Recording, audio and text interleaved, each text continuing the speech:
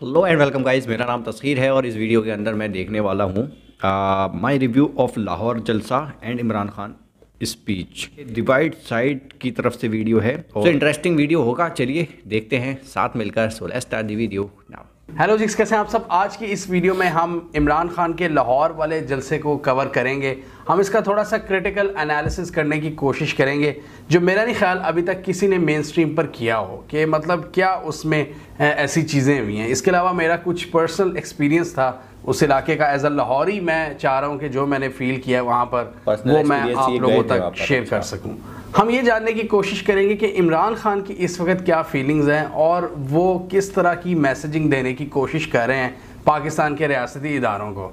तो मैं जब भी किसी जलसा वगैरह में जाता हूँ, मुझे ये शौक नहीं होता कि मैंने जी मीडिया कंटेनर पर चढ़ना है या किसी वीआईपी जगह पर मैंने बैठना है। मैं आराम से जाता हूँ जब मेरे पास टाइम होता है और मैं बेसिकली मकसद ये होता है कि मैं पब्लिक पल्स वहाँ पर जाके खुद चेक करूँ, तादाद देखूँ।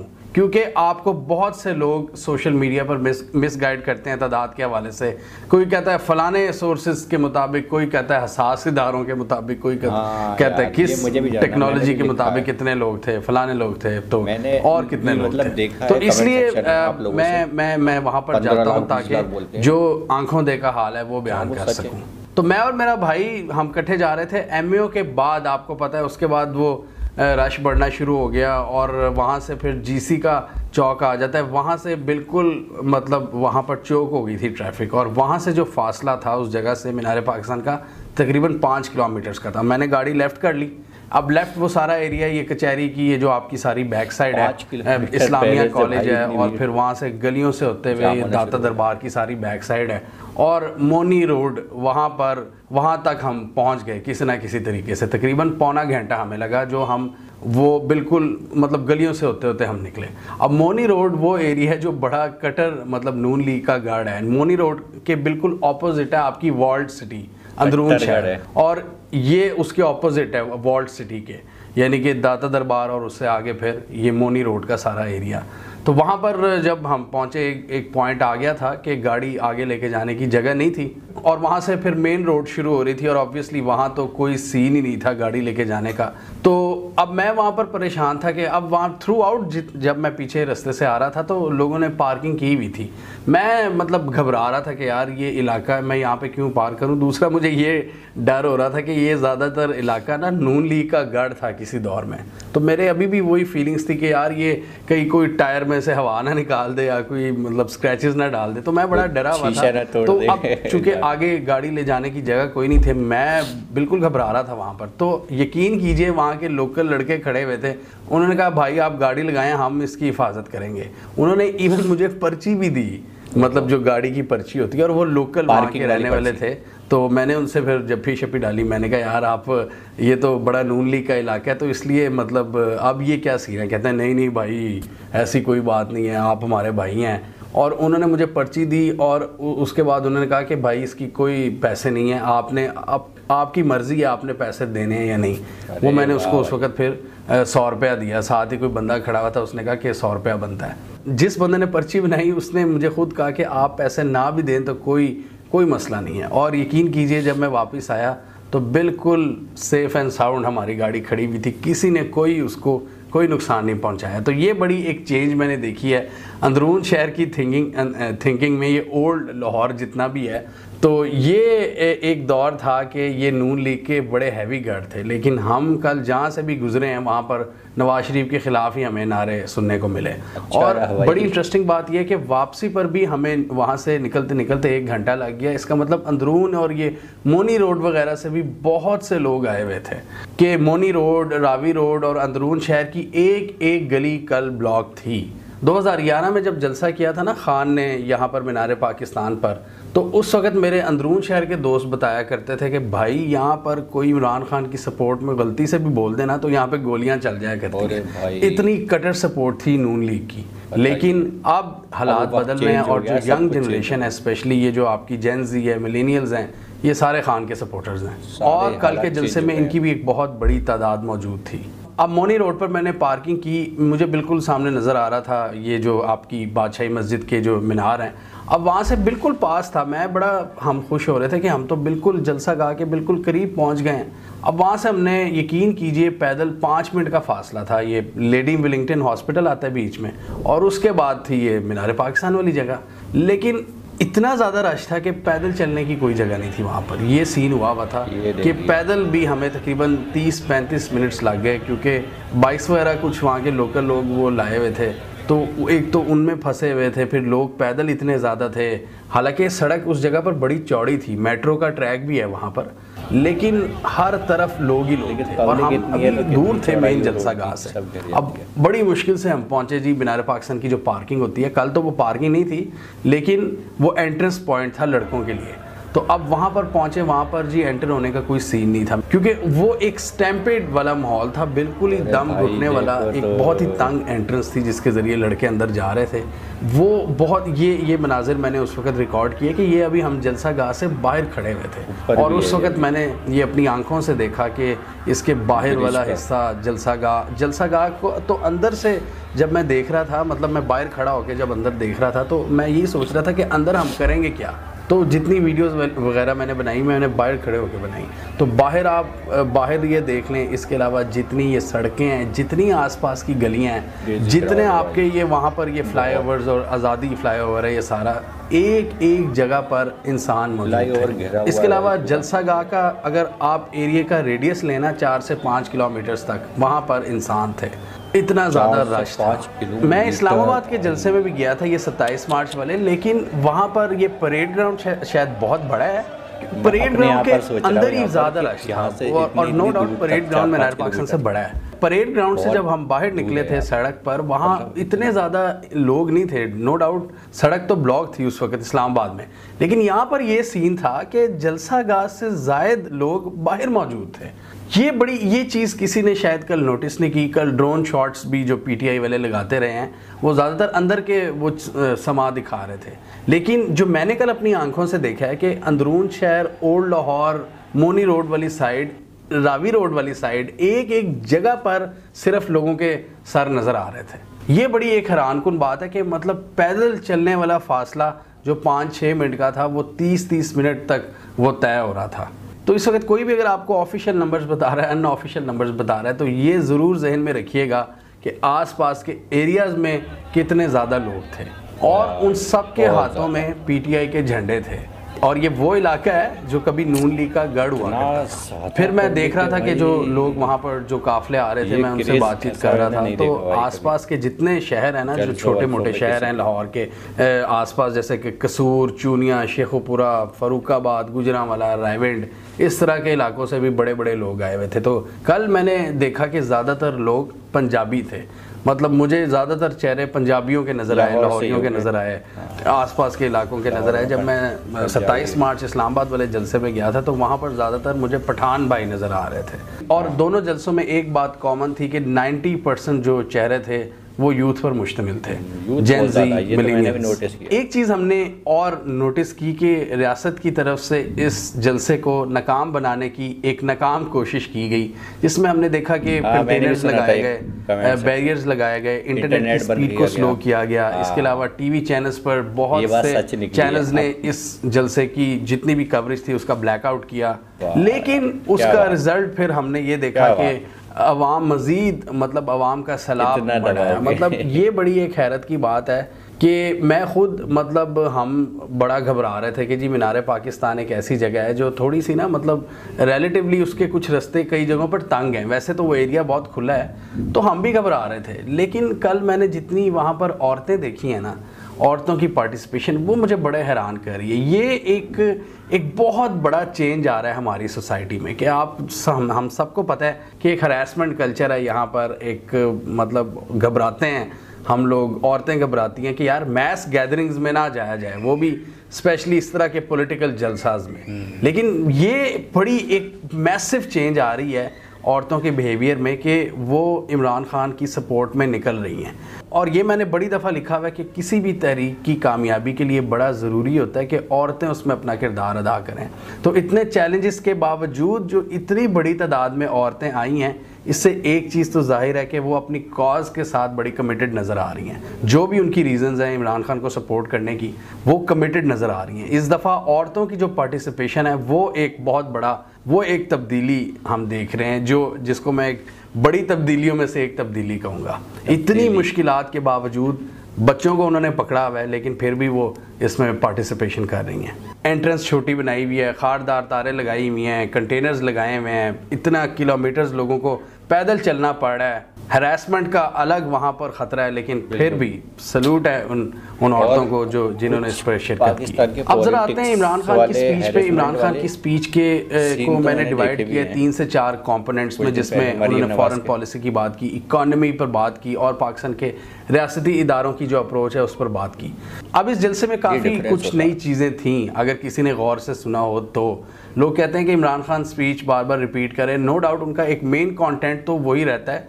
लेकिन इसमें कुछ इन्होंने टेक्निकल चीज़ें काफ़ी नई की हैं, जिसको मैं डिस्कस करूँगा। उन्होंने पहली बार मतलब कराची और पेशावर के जलसे में उन्होंने अपनी जो इकनॉमिक उनकी उनकी कामयाबियाँ थी, माशी महाज पर, वो उन्होंने डिस्क्राइब नहीं की। इस दफ़ा उन्होंने की हैं। उन्होंने बताया कि जी, किस तरह हम बड़ी ज़बरदस्त हालत में इकॉनमी को छोड़ के गए हैं, कि हमारी इकॉनमी इस वक्त टेक ऑफ़ कर रही थी नेक्स्ट लेवल पर जा रही थी हमारी पॉलिसीज़ की वजह से, और उस वक्त हमारी हुकूमत को रस्ते से हटाया गया है। उन्होंने बताया कि किस तरह हमारी जो रेमिटेंसेस थी वो रिकॉर्ड थी हमारी जो एक्सपोर्ट्स थी 32 बिलियन डॉलर्स वो मुल्की तारीख में पहली दफ़ा हैं। आईटी एक्सपोर्ट सबसे ज़्यादा बड़ी हैं लार्ज स्केल मैन्युफैक्चरिंग और कोविड में जिस तरह की उन्होंने परफॉर्मेंस दी हेल्थ कार्ड इसके अलावा उन्होंने बात की हमारी फ़सलों की कि किस तरह बड़ी बड़ी जो फ़सलें हैं हमारी उन्होंने रिकॉर्ड पैदावार की है। उन्होंने बात की रिकॉर्ड टैक्स कलेक्शन और रेवेन्यू की और कोविड के बावजूद हमने इन सारे सेक्टर्स में ग्रोथ हासिल की।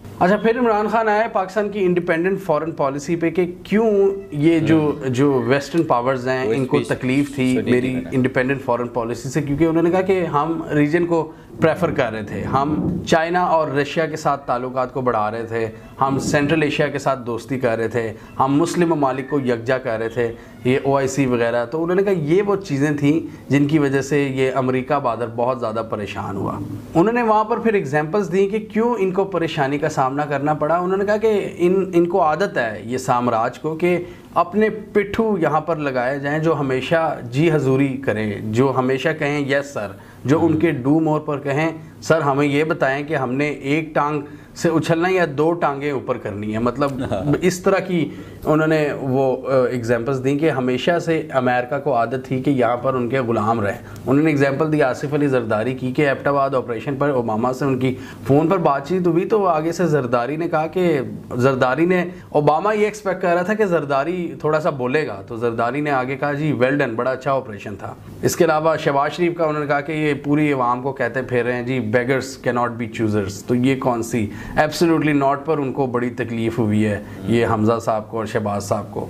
तो उन्होंने कहा, ये है हमारी, ये ये जिस तरह हमें कंट्रोल किया जाता है, वो बेसिकली अपने पपिट्स क्यों लगाना चाहते हैं कि वो हमेशा से वो कंट्रोल करते रहें? वो आईएमएफ के थ्रू वो डिफरेंट टूल्स के थ्रू अपने पपेट्स के थ्रू अगर उनके पपेट्स नहीं होंगे पाकिस्तान जैसे ममालिक में तो वो फिर हमारी पॉलिसीज़ को कंट्रोल नहीं कर सकेंगे। और उन्होंने कहा यही वजह है कि हमारे ये जो करप्ट लीडर्स हैं ये इतना ज़्यादा क्यों वैसे डरते हैं? उन्होंने फिर एग्जांपल दी रशियन ओलिगार्क्स की। वो पुटिन के जो पार्टनर बिजनेसमैन जिनकी सारी जायदादें इन्होंने मुंजमद कर दी हैं वेस्टर्न बैंकों में। और उन्होंने कहा कि जिसकी वेस्ट में जायदादें होती हैं उसको ही सबसे ज़्यादा डर होता है वेस्ट के इस तरह के इकदाम का। इसलिए वो फिर उनके ख़िलाफ़ नहीं बोलते। उन्होंने कहा कि ये सीधा साधा कॉन्फ्लिक्ट ऑफ़ इंटरेस्ट है कि या तो वो अपने, अपनी जो जायदादें या तो वो उसका उसका तहफ़ करेंगे, या तो उसकी सोच रखेंगे, या फिर पाकिस्तान के अवाम के फ़ायदे का सोचेंगे। उन्होंने कहा कि अफसोस की बात है कि हमने आज़ादी सत्तर साल पहले हासिल की थी, लेकिन हकीकी मानों में हम आज़ाद नहीं हुए। क्योंकि बदकिस्मती से आज भी हम फॉरेन पॉलिसी में अपने इंटरेस्ट को सेफ़ करने के बजाय दूसरों के इंटरेस्ट को प्रेफर कर रहे हैं। मुशरफ की उन्होंने एग्ज़ाम्पल दी कि जिस तरह उसने बंदे पकड़ पकड़ कर अमरीकियों को दिए, फिर उन्होंने पाकिस्तान के इदारों से बड़ी मायूसी का इजहार किया और ये तो उनका एक ट्रेंड हमें नज़र आ रहा है। वो ये कहते हुए नज़र आ रहे हैं कि यहाँ पर कोई देख नहीं रहा कि फॉरेन कॉन्स्परेसी हो रही है। इस इसको किसी ने इसकी जाँच पड़ताल करने की कोशिश नहीं की। हाँ, तो किसी कोर्ट्स ने मैं- ये नहीं देखा देखा कि किस तरह सिंध सिंध हाउस में लोगों को बंद किया गया हॉर्स ट्रेडिंग की गई इलेक्शंस में किस तरह पैसे चले चलाए गए इन लोगों की जानब से। वीडियो सबूत के बावजूद कोई कोर्ट्स किसी ने कोई एक्शन नहीं लिया।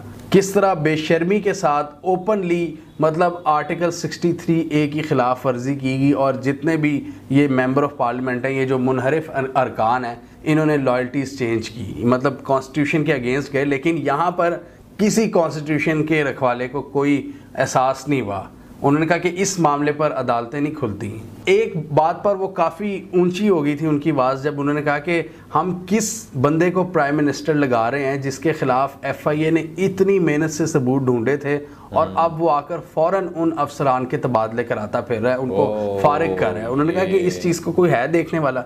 कि जितने उसके कि जितने उसके खिलाफ केसेस इकट्ठे हुए थे क्या अब वो उनको रहने देगा? इनकी तो इनका तो ट्रैक रिकॉर्ड है इनका तो पास्ट एक हिस्ट्री है कि किस तरह अपने खिलाफ जो सबूत हैं वो इनको जला देते हैं वो इनको मिटा देते हैं। मिटा तो इस बात पर इमरान खान काफ़ी फ्रस्ट्रेटेड नज़र आए कि कौन है जो मतलब इस इस चीज़ को देखेगा? कौन है जो यहाँ पर इंसाफ को यकीनी बनाएगा? उन्होंने कहा कि ये बड़ी ज़्यादती होगी कि जिस तरह जिस भोंडे तरीके से हम करप्शन को नॉर्मलाइज कर रहे हैं पूरे मुल्क में अपने शॉर्ट टर्म मकासद के लिए। उन्होंने कहा कि ये एक गद्दारी है अपनी आने वाली नस्लों के साथ कि किस तरह का मुल्क हम उन्हें देने जा रहे हैं, जिसमें इस तरह के भोंडे तरीक़ों से हुकूमत में आया जाता है और करप्शन का दिफा किया जाता है। ये चीज़ तो हमें क्लियर नज़र आ रही है कि कोई बड़ा सख्त दबाव है इस वक्त मीडिया पर। मीडिया जलसे नहीं दिखा रहा। क्लियरली मीडिया ब्लैकआउट किया जा रहा है। बहुत सी रुकावटें डाली जा रही हैं। इंटरनेट को भी उसके साथ भी छेड़खानी की जा रही है। इन सारी चीज़ों के बावजूद इमरान खान की जो जो सपोर्ट है उसमें कमी नहीं आ रही बल्कि इजाफा होता चला जा रहा है। इमरान खान के पास भी ऑल्टरनेटिव टूल्स हैं। अभी थोड़े दिन पहले उन्होंने एक ट्विटर स्पेस कंडक्ट की जिसमें उन्होंने सारे रिकॉर्ड तोड़ दिए। मतलब पूरी दुनिया में ट्विटर स्पेसिस के रिकॉर्ड तोड़ दिए और तकरीबन चार लाख के करीब बंदों ने इसको अटेंड किया। और अगर एक स्पेसिफिक मोमेंट के पीक की बात करें तो करंट यूज़र्स की तादाद थी एक लाख पैंसठ हज़ार। ये एक रिकॉर्ड है। उस स्पेस को भी बड़े लोगों ने सुना और बड़ी इंटरेस्टिंग चीज़ सामने आई। मैंने भी मैं उस वक्त मौजूद था।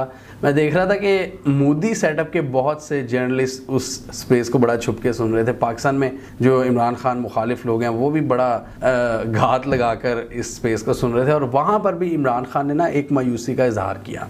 उनका ये जो पार्लियामेंट पार्लियामेंट्री सिस्टम है ना ये बेसिकली ये सारे सिस्टम तो आया आपका यूके से तो उन्होंने कहा कि फ़र्क ये है कि उनके मॉरल स्टैंडर्ड्स बहुत हाई हैं। अगर पार्लियामेंट्री डेमोक्रेसी की बात करें, उन्होंने कहा, यहाँ पर तो आवे का आवा ही बिगड़ा हुआ है। कि मतलब एक वोट के लिए इतना ज़्यादा ब्लैकमेल किया जाता है। मतलब डिफरेंट किस्म की वो फेवर्स मांगते हैं पार्लियामेंटेरियंस इतिहादी आपको दिन ब दिन रोज़ आपको ब्लैकमेल करते हैं। तो इस पर उन्होंने बड़े मायूसी का इजहार किया कि जितने लोग यहाँ पर बड़ा बड़ा जमहूरियत या डेमोक्रेसी या पार्लियामेंट का रोना धोते हैं ना कि इनको सुप्रीम होना चाहिए, बिल्कुल होना चाहिए। उन्होंने कहा, लेकिन उसके लिए हमें अपने इखलाकी जो स्टैंडर्ड्स हैं, वो भी तो ऊपर करने होंगे ना। मतलब कौन सी जमहूरीत की आप बात करते हैं, जिसमें पैसा चलता है, जिसमें आपको ब्लैकमेल किया जाता है, जिसमें कहते हैं कि जी, हमें हाँ, हमें स्पेशल तैयारा मतलब हम लाहौर बैठे हैं अगर आपने वोटिंग करवानी है ना तो हमें स्पेशल तैयारा भेजें तब हम आएँगे। इस तरह के फेवर्स लिए जाते हैं। पाकिस्तान का जो ख़जाना है उसका बेदरेग इस्तेमाल किया जाता है आपके और मेरे टैक्स पेयर का। तो ये ये कहाँ का इंसाफ है? तो इमरान खान इस पर भी बड़ी उन्होंने मायूसी का इजहार किया कि पाकिस्तान जैसे मुल्क में जहाँ पर इखलाकी स्टैंडर्ड्स इतने फारिग हैं जहाँ पर इतनी ज़्यादा कंट्रडिक्शंस हैं ये इनके बयान में। ये तो और ये फिर कहते हैं कि जी हमें, हम इसकी, हमें इसकी इज़्ज़त करनी चाहिए। उन्होंने कहा, या तो फिर अपने स्टैंडर्ड्स भी उस तरह के करें ना, जहाँ से वो सिस्टम आया है। अगर सिर्फ़ सिस्टम को इम्पोर्ट ही करेंगे, तब तो कोई फ़ायदा नहीं। उसको अगर आपने उसका हकीकी मानों में अगर उस पर अमल करना है, फ़ायदा तो तब होगा, लेकिन वो हमने करना नहीं है। तो फिर क्या फ़ायदा है ऐसे सिस्टम का?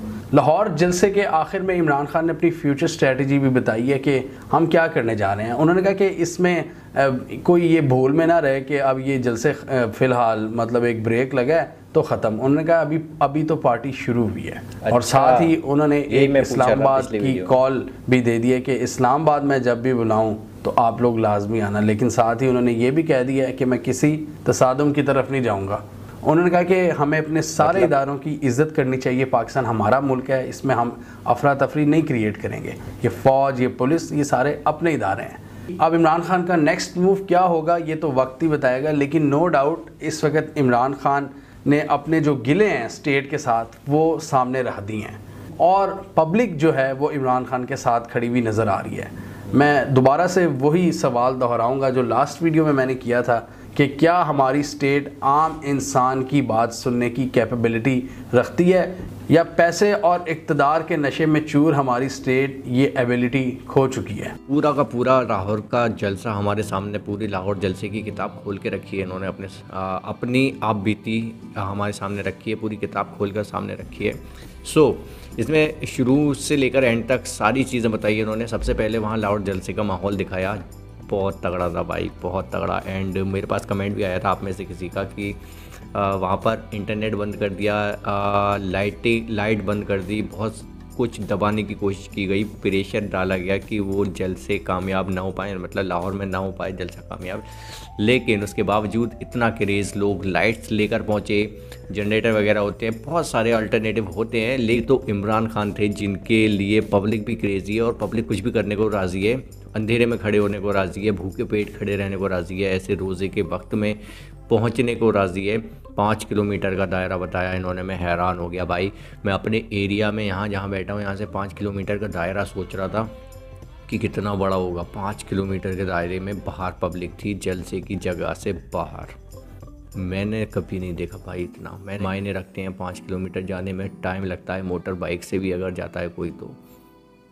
कमाल है यार शॉकिंग था बहुत ज़्यादा। एंड कार पार्किंग वाली इन्होंने स्टोरी बताई कि वहाँ पर जो पी एम एन एल वाली जगह थी मतलब जिसके सपोर्टर का गढ़ माना जाता था, जगह पर वहाँ पर इन्होंने पार्किंग की, लेकिन वो दौर बदल चुका है। समझ सकते हैं इस चीज़ से कि तब से अब तक क्या चेंज आया है? इमरान खान के आने के बाद कितने लोगों के दिल भी बदले होंगे, कितने लोग बदले होंगे, वो आप इस चीज़ को देखकर समझ सकते हैं, जो इन्होंने अभी अभी बताया है इस वीडियो में। बीच में उन्होंने बहुत कुछ बोला, थोड़ा इमोशनली बोला है और ट्विटर स्पेस वाली बात तो मुझे पता ही नहीं थी, उस पर भी रिकॉर्ड तोड़ पब्लिक की बारिश कर डाली यार इमरान खान ने। क्या बात है यार। जितना दबाने की कोशिश कर रहे हैं और उतना ही ज़्यादा पब्लिक उनके सपोर्ट में निकल कर आ रही है। चाहे कुछ सपोर्ट मिले ना मिले, बिजली मिले ना मिले, कुछ मिले ना मिले पब्लिक भाई। पूरा सपोर्ट दिखा रही है। और जलसों के बारे में मैंने भी पूछा था तो इसमें भी कंफर्म किया इन्होंने कि और जलसे होंगे, इस्लामाबाद में होंगे शायद इस्लामाबाद में होगा और भी कई जगहें हैं, जलसे अभी और बाकी हैं। पिक्चर अभी बाकी है, ये आप कह सकते हैं। मुझे भी इस वीडियो के ज़रिए बहुत कुछ जानने को मिला है डीपली अंदर तक पहुँचा हूँ मैं जलसे के। वैसे वैसे तो हमने बार बार की वीडियोस देखी थी। तो बस इस वीडियो में इतना ही। कमेंट सेक्शन में ज़रूर अपनी राय लिख कर जाएँ। मिलते हैं फिर नेक्स्ट वीडियो में। तब तक के लिए bye bye take care signing off